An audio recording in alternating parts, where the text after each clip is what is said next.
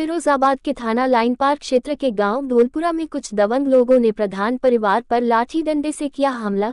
चार लोग हुए गंभीर रूप से घायल हुए। मौके पर पहुँची पुलिस मामले की जाँच पड़ताल में जुटी। रविवार की दोपहर गाँव धोलपुरा में उस वक्त हड़कंप मच गया, जब प्रधान परिवार पर दबंग लोगों ने लाठी डंडों से जानलेवा हमला कर दिया, जिसमें मुन्ना लाल, सत्यबीर सिंह और युवती गंभीर रूप से घायल हुए हैं।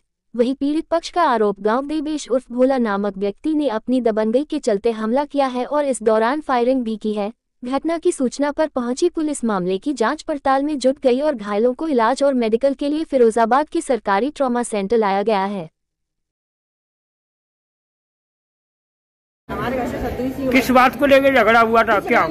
कुछ बात नहीं थी। वो तो सो रहे थे अपनी दुकान पे पहले निजी पहले धंधा करते हैं। गिट्टी बालू का दुकान है। और उसी पे लेटे थे। और सत्तरी सी लेटे मुन्ना लाल बैठे थे। उन पे हमला बोल दिया है आते तीन पाँच छह लड़के थे। उन्होंने गोली दी चाँद में कौन लोग थे?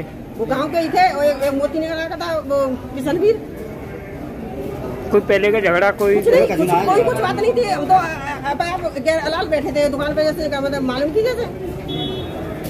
वो तो लूट कसूस करते हैं वो तो ऐसे गुंडा लोग हैं वो तो गाँव के घायल? हैं?